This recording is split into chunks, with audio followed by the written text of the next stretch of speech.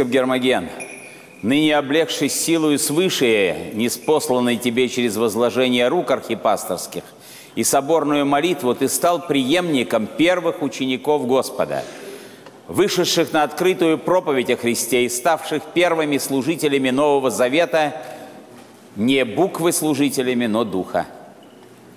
Сегодня особый для тебя день, который ты с внутренним трепетом и благоговением будешь вспоминать всю свою жизнь.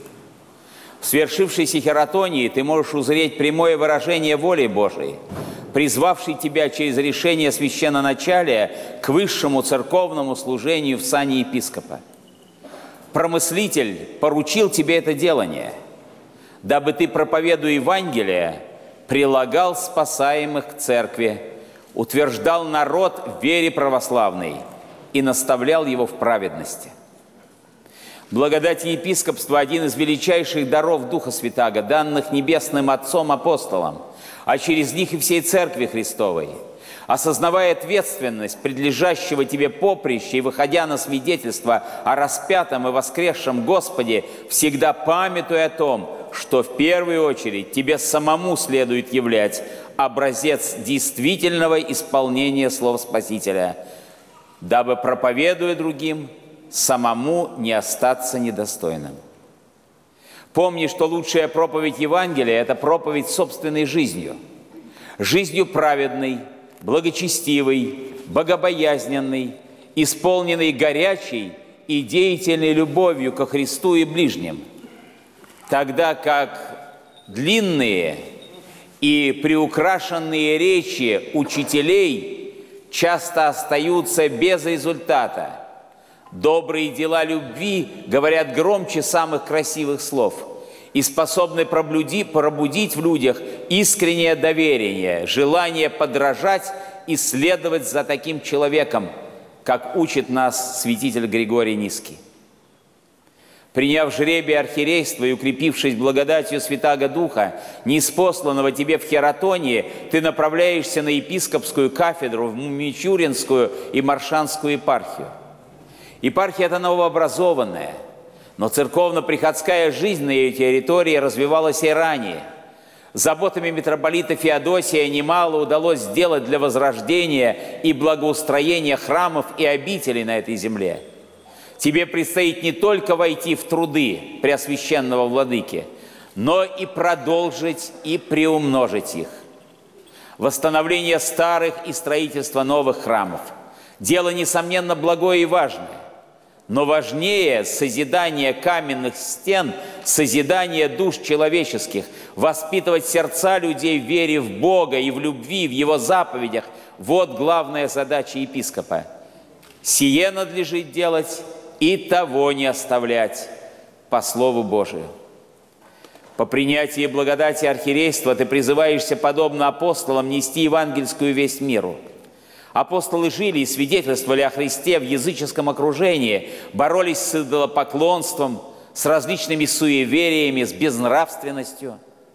Несомненно, реалии современной жизни внешне выглядят иными – нежели во времена апостольские. Внутреннее же содержание жизни людей зачастую немногим отличается от настроений, господствовавших в человеческих умах и сердцах в эпоху, когда проходила проповедь учеников Господа, а иногда в целом ряде ситуаций. Это жизнь людей еще более опасна – с точки зрения спасения, чем жизнь древних язычников. За четверть века, прошедшую со времени возрождения церковной жизни в нашей стране, из руин были восстановлены многие дома и обители Божии. Началась активная деятельность в социальной и информационной сферах, в области образования и молодежной работы. Но вместе с тем немало наших соотечественников, несмотря на свою формальную принадлежность к православию, ведут образ жизни весьма далекий от евангельских идеалов. Сегодня место рукотворных идолов языческого прошлого заняли новые кумиры – деньги, успех, комфорт, плотские удовольствия. Так мало этих идолов. Их можно на одной руке по пальцам пересчитать. Но насколько же притягательны эти идолы, насколько они опасны для человеческой жизни и спасения – Многие люди находятся в плену также ложных идей и суеверий, занимаются различными оккультными практиками, ищут истину на стороне чужой, а то и вовсе заявляют о своем совершенном равнодушии к жизни духовной, а иногда, что отмечается последними годами, заявляют о своей активной, антирелигиозной, безбожной позиции, о готовности бороться с Богом и с Церковью. Посему возвышай свой голос Самвона, а также, используя все имеющиеся в твоем распоряжении информационные возможности, непрестанно призывай свою пасту хранить православную веру, оставаться верными Богу и Его заповед, заповедям, ценностям, которые проистекают из Евангелия, неустанно напоминая о том, что вне церкви, по слову святителя Киприана Карфагенского, нет спасения – Возвещая людям Евангелие Христова, не забывай никогда о том, что инвалиды, престарелые, сироты, обремененные различными скорбями люди также составляют твою паству. Может быть, это самая драгоценная часть твоей паствы. Посему прилагай усилия для системной организации социального служения в порученном твоему попечению церковном уделе – Привлекай к работе с нуждающимся молодое поколение. Юношеству важно ощущать свою востребованность, чувствовать, что церковь доверяет им ответственное и нужное служение. Стремись к выстраиванию добрых отношений с местной властью, общественными институтами и вообще всеми благомеренными людьми, и религи... Э, э, независимо, кстати, от их национальности – от политических и от религиозных убеждений, храня в своем сердце завет апостола, если возможно, с вашей стороны, будьте в мире со всеми людьми.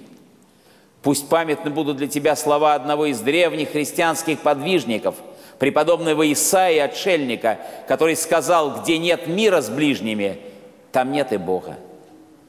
Среди бушующих волн мира и треволнений житейских никогда не оставляй молитвы – только через благоговейное предстояние Богу, принесение бескровной жертвы, ты способен обрести силы, потребные для прохождения нелегкого поприща архиерейского служения – Епископское делание тяжело и ответственно, и совершить его, надеясь лишь на себя, невозможно, но ты возложи свое упование на Господу, который припоясует тебя силою и устроит верный путь, и тогда сможешь вместе с апостолом Павлом радостно свидетельствовать «Все могу в укрепляющем меня Иисусе Христе».